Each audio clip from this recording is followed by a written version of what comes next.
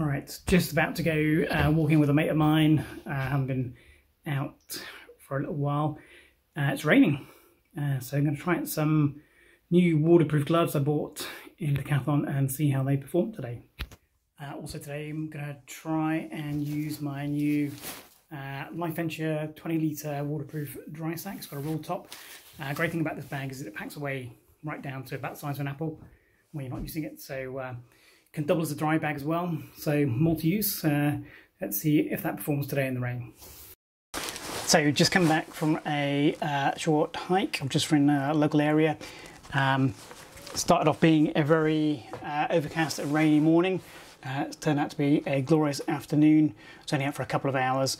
Uh, but the reason I went out was um, to try out this uh, Lifeventure waterproof backpackable backpack.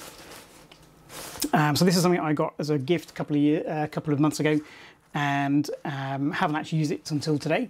Want to give it a try because, like all my bits of gear, I like to have them multifunctional. So what I'm thinking is that this is a full-on backpack with uh, shoulder straps, handle, roll top with closure, shock cord on the outside and two uh, reasonably decent sized pockets uh, on there. So this is a, fully functional day pack. Um, but because it's so light and small, I was going to use it also as a just a roll top dry bag. Um, use it to store perhaps my uh, sleep or spare clothes on a multi-day hike, uh, but also then use it as a day bag if needed. Um, looking at the manufacturer's weights, it should be about 150 grams. I haven't actually put it on scales yet, um, but weighing my equivalent 25 litre dry bag that it would replace, uh, or it uh, would be replacing, uh, that came in at just over 90 grams, this 150 grams, so it is more weight, but it also is more functional. In terms of uh, what I've managed to get in here today, so I just went for a short, short day hike. Um, so I've got in here down jacket, full set of waterproofs, um, full set of layering of gloves, which I'll do in another video, um, woolly hat. As I said, it was quite cold and grey this morning when I left. Uh, I've got half a litre of water, because uh, it's COVID times, I've also got in here hand gel, gloves, wipes, a couple of snack bars. Um, so you know, I've got a reasonable amount of stuff in there. What you'd expect to get in a 20 litre. This is 22 rated litres. Um, with the roll top, it's probably closer to 18 to 20 once you've rolled that down. Um, but I've got in there everything I needed to get in there for my little hike. Uh, more than enough, in fact. And uh, I've been quite impressed with the side pockets. They're bigger than I thought they were. You could definitely get a one litre bottle in there, uh, no problem at all. Um, and there's one on each side. It's got reflective details on here, so you can be seen at night. It, um, the colour's a bit dull, grey, but uh, fully functional. Nothing wrong with that.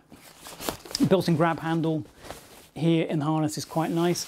Uh, as you can see, the straps are uh, pretty much non-existent in terms of padding, but uh, they were surprisingly okay. They are fully adjustable in length, and there is even a um, hip belt, not padded. It's more of a strap to stop it wobbling around if you're running or you know descending on a rough ground. Um, you're not going to take any weight on that. It is all going to go through the shoulders. In terms of this, the harness, uh, it wasn't bad. Um, is it comfortable? Not especially. Is it uncomfortable? Not especially. It's kind of somewhere in the middle. Um, the the weight of this, with everything in it I've got today, is about 2.2 kilos. Um, that load was perfectly respectable for the straps. They weren't uncomfortable. I was aware I was wearing the pack though. It wasn't super comfortable. Uh, I couldn't forget it was on. Um, but equally, it wasn't uncomfortable. I've got no uh, chafing, I've got no permanent marks uh, from having worn it for uh, two and a half hours uh, with 2.2 kilos in it.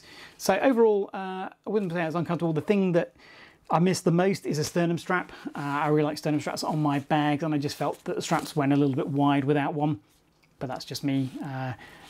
it obviously saves a lot of weight by not having one. So overall, uh, pretty impressed with my Lifeventure uh, waterproof packable backpack. Is it waterproof? I don't know. I was hoping to get uh, some rain on it today because uh, it was raining this morning when I left, but by the time I got to where I was going, it had stopped um, and the rain didn't come back, unfortunately.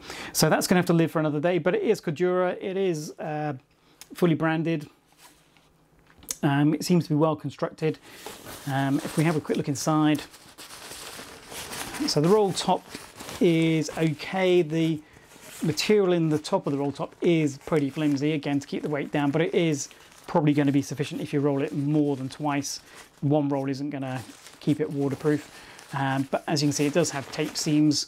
Um, so this is, should be completely waterproof, uh, bearing any uh, holes I managed to put in it uh, by wearing it. So there you have quick introduction to the Lifeventure waterproof packable backpack. Uh, currently retails at about £35, but I'm sure I've seen it on sale for less than that, uh, somewhere in the high 20s. Um, so that could well be replacing one of my dry bags in my normal multi-day kit.